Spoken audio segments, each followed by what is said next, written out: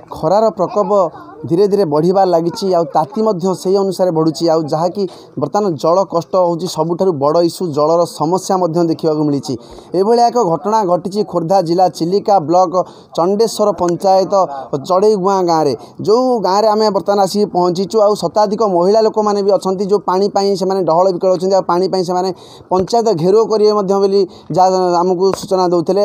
ଆଉ ସବୁଠୁ ବଡ଼ ଦୁଃଖର ବିଷୟ ହେଲା ସେମାନଙ୍କର ପାଣି ଟ୍ୟାବ୍ ଅଛି ଆଉ ପାଣି ଟାଙ୍କି ମଧ୍ୟ ଅଛି କିନ୍ତୁ ସେମାନେ ନଈରୁ ପାଣି ଆଣିକି ଆଉ ପୋଖରୀରୁ ପାଣି ଆଣିକି ସାରବାର କରୁଛନ୍ତି। ସେହି ମହିଳାମାନେ ଆମ ପାଖରେ ଅଛନ୍ତି ମାଆମାନେ ଅଛନ୍ତି। ଆସନ୍ତୁ ତାଙ୍କ ସହ ସିଧାସଳଖ ଆଲୋଚନା କରିବା। କ'ଣ କହିବେ ଆଜ୍ଞା? ଯେଉଁ ଆପଣମାନେ ଆଜି ଏକତ୍ରିତ ହୋଇଛନ୍ତି ପାଣି ପାଇଁ କିଭଳି ଆପଣ ପାଣିରୁ ବଞ୍ଚିତ ରହିଛନ୍ତି? କ'ଣ ଘଟଣା କ'ଣ ଅସୁବିଧା କ'ଣ? ଆମେ ପିଇବା ପାଇଁ ପରିଷ୍କାର ପାଣି ଟିକେ ପାଇପାରୁନୁ। ଆଉ ଆମ ଗାଁରେ ଟ୍ୟାପ ତିନି ତିନି ଚାରି ଚାରିଟା ଅଛି। କିନ୍ତୁ ସଫା ପରିଷ୍କାର ପାଣି ଆସୁନି। ଆମେ ନଈ ଭିତରୁ ପାଣି ଆଣି ବ୍ୟବହାର କରୁଛୁ। ତେଣୁ ପାଣି ବ୍ୟବହାର କରିବା ଭିତରେ ପିଲାମାନଙ୍କର ବିଭିନ୍ନ ପ୍ରକାର ଚର୍ମ ରୋଗ ଓ ଝାଡ଼ା ବାନ୍ତି ମଧ୍ୟ ଦେଖାଯାଉଛୁ। କିନ୍ତୁ ପଞ୍ଚାୟତରେ ବାରମ୍ବାର ଗୁହାରି କରିବା ସତ୍ତ୍ୱେ ହଁ କରି ସେ ତମର ପଦକ୍ଷେପ ନେଉନାହାନ୍ତି। ତେଣୁ ଆମେ ବାଧ୍ୟ ହୋଇ ଆସିଥିବା ମିଡ଼ିଆମାନଙ୍କୁ ପରିସ୍ଥିତି ବାଧ୍ୟ କଲା ତେଣୁ ଆମେ ଆପଣମାନଙ୍କୁ ଜଣାଇଲୁ। ତେଣୁ ଆପଣମାନେ ଆମର ପାଣି ସୁବିଧା ଯେତେ ଶୀଘ୍ର ପାରୁଛନ୍ତି କରନ୍ତୁ। ନହେଲେ ଆମେ ରୋଗର ସମ୍ମୁଖୀନ ଆହୁରି ଅଧିକ ହେବ।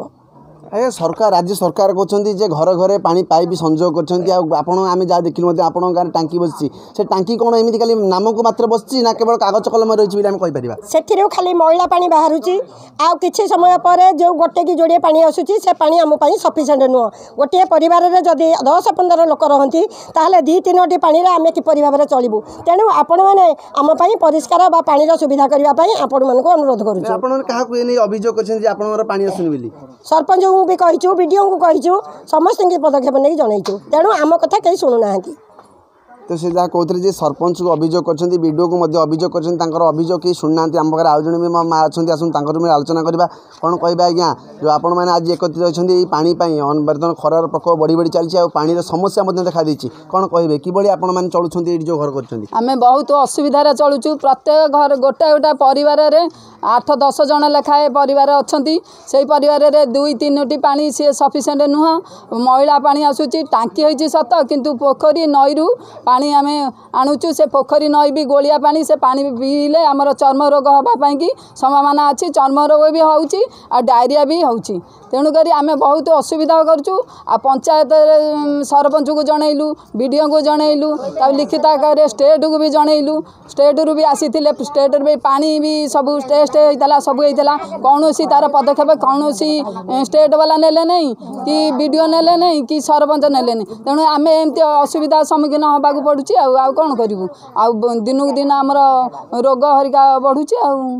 ସେ ଯାହା କହୁଥିଲେ ଯେ ସେ ମାନେ ବହୁତ ଉଚ୍ଚ ପଦାର୍ଥ ଅଧିକାରୀମାନଙ୍କୁ ମଧ୍ୟ ଜଣାଇଛନ୍ତି ଯେ ତାଙ୍କର ସମାଧାନ ହୋଇପାରି ନାହିଁ। ଆଉ ଏଇ ପାଣି ନଈ ପାଣି ଆଉ ପୋଖରୀ ପାଣି ମଧ୍ୟ ତାଙ୍କର ବିଭିନ୍ନ ପ୍ରକାର ରୋଗରେ ମଧ୍ୟ ଆକ୍ରାନ୍ତ ହେଉଛନ୍ତି। ଆଉ ଯଦି ଆଗାମୀ ଦିନରେ ତା'ର ନ ଶୁଣାଯାଏ ସେମାନେ ଘୋର ଆନ୍ଦୋଳନ କରିବେ ବୋଲି କହୁଛନ୍ତି। ଆମ ପାଖରେ ଏଇ ଯେଉଁ ଅଞ୍ଚଳର ୱାର୍ଡ଼ ମେମ୍ବର ମଧ୍ୟ ଅଛନ୍ତି ତାଙ୍କ ସହିତ ବି ଆଲୋଚନା କରିବା। କ'ଣ କହିବେ ଆଜ୍ଞା? ଯେଉଁ ଆପଣ ଅଛନ୍ତି ୱାର୍ଡ଼ ମେମ୍ବର ଅଛନ୍ତି ଲୋକମାନଙ୍କର କିଭଳି ଭାବରେ ସୁବିଧା ହେଉଛି? ପାଣି ପାଣି ପିଇବାରେ ସେ ବଞ୍ଚିତ ଅଛନ୍ତି। କ'ଣ କହିବେ ଆପଣ ୱାର୍ଡ଼ ମେମ୍ବର ହିସାବରେ? ଯାହା ତ ଅଳ୍ପ ଅଳ୍ପ ପାଣି ଛାଡ଼ୁଛି ଗୋଳି ଆଉ ଆଗେ ରୋଗର ସମ୍ଭାବନା ଆଉ। କିଛି ପାଣି ସଫିସିଏଣ୍ଟ ହେଉନି ଆଉ। ମାନେ କ'ଣ ତାଙ୍କ ପାଇଁ କ'ଣ ବ୍ୟବସ୍ଥା କରିଛନ୍ତି ଆପଣ ଜଣେ ୱାର୍ଡ଼ ମେମ୍ବର ହିସାବରେ? ମୁଁ କହିଛନ୍ତି ସରପଞ୍ଚ ଆସିକି ବି ଦେଖିଛନ୍ତି ପାଣି ଗୋଳି ବୋଲି ହେଲେ ବି କିଛି ପଦକ୍ଷେପ ନେଇନାହାନ୍ତି। ନାଇଁ ନାଇଁ ଖୁବ୍ ଶୀଘ୍ର ଆପଣ କହିବେ କି ଆମକୁ ନାଇଁ ଖୁବ୍ ଶୀଘ୍ର ସେମାନଙ୍କର ପାଣିର ସମସ୍ୟା ସମସ୍ୟା ହେଇପାରେ ସମାଧାନ ହେଇପାରିବ ବୋଲି ଆପଣ କହିବେ? ହଁ। ମୋର ପାଣିର ସମାଧାନ ଦରକାର। ମୋର ଗାଁ ବାଲା ମୋତେ ସବୁବେଳେ କମ୍ପ୍ଲେନ୍ କରୁଛନ୍ତି। ହଉନି ହଁ ଗାଁ ବାଲା ସବୁବେଳେ କମ୍ପ୍ଲେନ୍ କରୁଛନ୍ତି ୱାର୍ଡ଼ ମେମ୍ବର ବୋଲି। ପାଣିର ସମାଧାନ କେମିତି ସୁବିଧା ଶୀଘ୍ର ହେଉ। ସେ ତାଙ୍କ ୱାର୍ଡ଼ ମେମ୍ବର କହୁଥିଲେ ସରପଞ୍ଚ ସାଙ୍ଗରେ ଆଲୋଚନା କରି ଖୁବ୍ ଶୀଘ୍ର ପାଣିର ସମସ୍ୟା ସମାଧାନ କରିବେ। ଆମ ପାଖରେ ଆଉ ଜଣେ ବି ମା ଅଛନ୍ତି। କ'ଣ କହିବେ ଆଜ୍ଞା? ଆପଣ କିଭଳି ଭାବରେ ପାଣି ସାରବାର କରୁଛନ୍ତି କେଉଁଠୁ ପାଣି ଆଣୁଛନ୍ତି କେମିତି ଚଳୁଛନ୍ତି?